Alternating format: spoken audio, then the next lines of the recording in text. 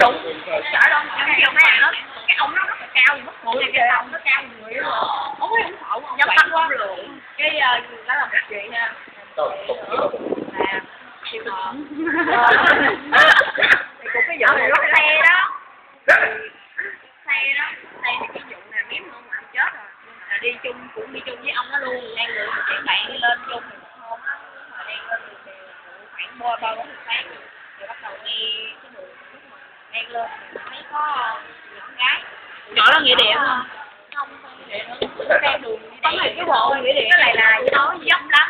Mà là đường nhựa cũng chưa chưa hoàn tất nữa có mấy đường. Chạy từ đất rồi biết mà đi mà chết hồi nào cũng biết luôn á. Như là mình không biết mình sẽ chết lúc nào tại nó đèo nó sát nhấp gì nè không có mấy cái cây để mà chắn được Mấy đè đó phải cúng á. Ờ, nhưng mà là cây nữa là mình đi như nè cái dắt cái cái dắt dục á là sát bên mình rồi là đất toàn là đất đất đỏ. Mình đi mình đi trên đường đất mà không đi đường nhựa nữa. Cứ lại lại lại như đây nè thấy con nhỏ. Nó nó ngồi đó nó nhìn nó cái mắt mắt như này nó mắt với ơi cái ờ, ông thấy vậy cái ờ, ông kia thấy vậy nói ờ, ờ, ờ, ờ, Rồi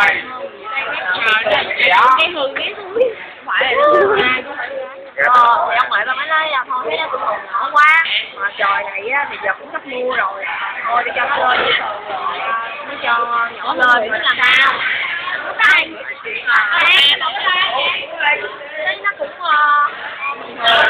cái mới đem nó lên cho nó ngồi đằng sau ông ngoại tao với ông kia cũng trước cái chở ngồi nó mới hỏi nó con là bị có con này đâu á cái ông ngoại nói là không về nhà không đâu chỗ nào chút ông đi nghe nghe ông cho chỗ chỗ đó người là chỗ gì nghĩa địa bình hương hòa Nhỏ nghe xong cái gì